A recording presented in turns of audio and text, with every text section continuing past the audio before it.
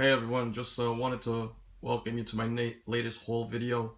Uh, books I'm going to be showing you have been purchased either online or through an original owner collection that I've been purchasing uh, periodically. I've spoken to this before. Also um, picked up a bunch of stuff on eBay that I want to show you guys. But uh, first of all, let me just show you my newest Wolverine statue. And I thought this thing was incredible. It's a uh, Kotobukiya. I, I'm going to screw the name up there, but they, they do a great job. They've got a, it's on a Sentinel headpiece, if you could see there. Um, I had this on order for a while, waiting for it to come. Just got it in the other day. I just ordered the uh, Rogue one that from this series should be coming out sometime in November. So if you get a chance and you're into statues like I am, you know, take a look at the detail on this. This also comes with an interchangeable head so that you'll have a Wolverine unmasked also. So get the chance to take a look at it. Uh, first book I want to show you here is uh, Walking Dead 100 second print variant. Um, picked these up on Mile High Comics. I know they're usually a little pricey, but they had a half price off sale. So uh, these came out to about $6 each. Seen them sell on eBay for approximately like $15, $20. So picked up two copies of that. Uh, next book I picked up off that Mile High uh, website was uh, Bloodshot number six, first appearance of Ninjak. These books were, uh, with the discount, were $3 each. So I, I picked up four of them. Uh, you know, $3 a piece. Can't go wrong. Next book I picked up, uh, these books are some eBay purchases I made, is, excuse me for the glare, Batman Annual number two. And this is the first appearance of Eric Border, who later on is revealed to be a uh, identity used by the Joker. Great storyline. You know, Snyder just did phenomenal job on this new 52 stuff. So if you haven't read it, you know, jump on it and read it because it's just good, good stuff. Another book that I've been trying to get these books little by little. Some of them become a little pricey after a while. Is X-Men 303. This is the uh, Pressman variant. For those of you who don't know, the Pressman variants were uh, included in a, a board game back in the day. I believe uh, issue 297 is the rarest of all of them. It was like a, a mail-in entry that you had to send. So I just picked up 303. This was in about a VF shape, so, you know, jumped on it when I could. Uh, got this off of a uh, seller on Atomic Avenue for $3. And it's, once again, X-Men number 128. I've shown this video, shown this on my videos before. I pick this up every chance I get. It's first appearance of Phantom X. Another book I always pick up, and uh, again, another $3 book was New X-Men 134. This is the first Quentin Quire.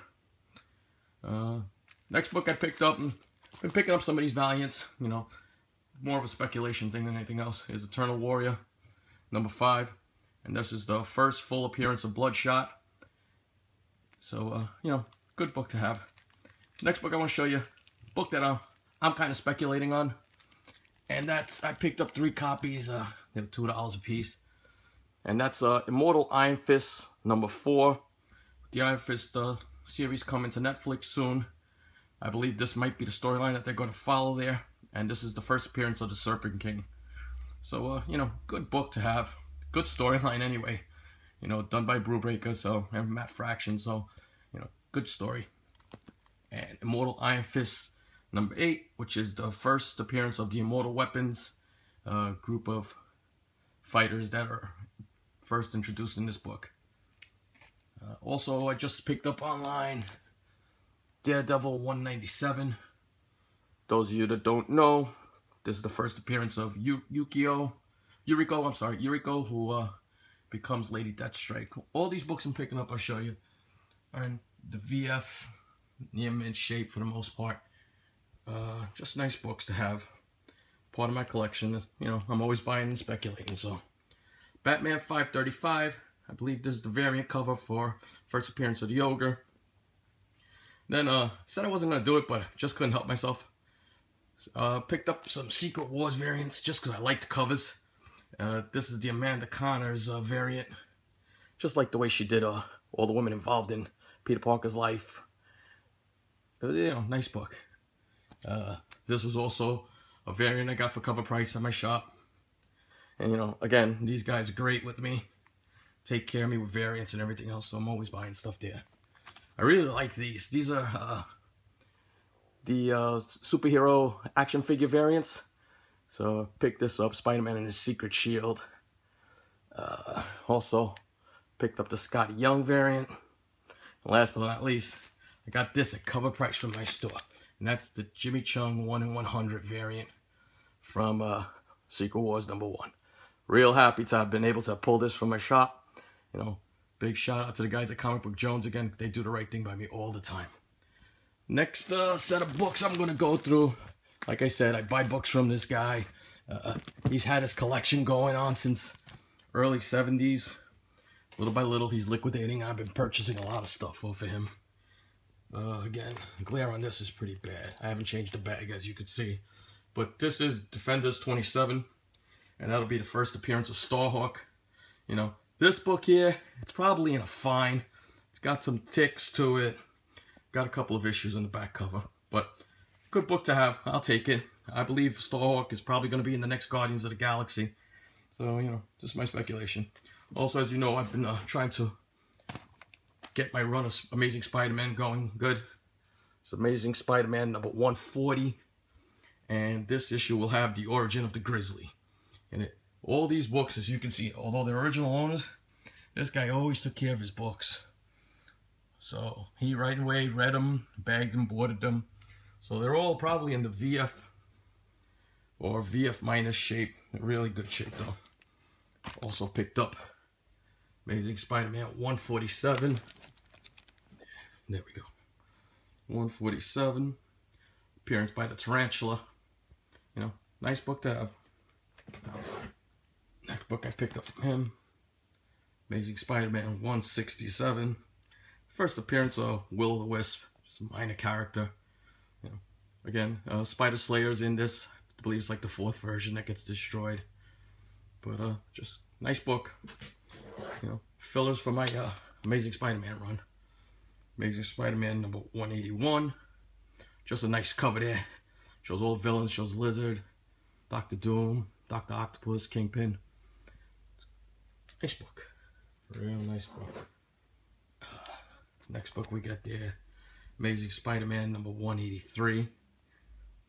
Nothing, uh, you know, major happens in these books. Just regular storylines, but, you know, needed them for my collection. Got them at a good price. I always love this cover. It's Amazing Spider-Man 187. Got, uh, Spider-Man battling Captain America there. A little bit of Electro in the background, if you could see it. Uh, you know, good book. The last Spider-Man book I bought from him Amazing Spider-Man number 191. Uh, next books I'm going to show you, these are a little more uh, along the fine to VF price range. This is uh, Avengers number 34, and this is the first living laser. This one's this book's probably fine, you know. It's got some ticks along the side of it.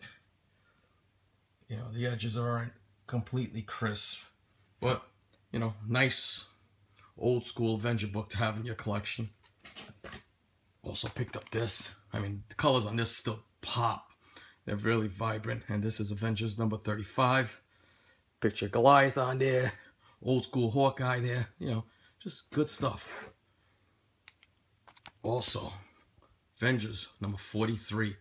First appearance of the Red Guardian. Um, you know, this book, a little bit of an issue. Probably a fine.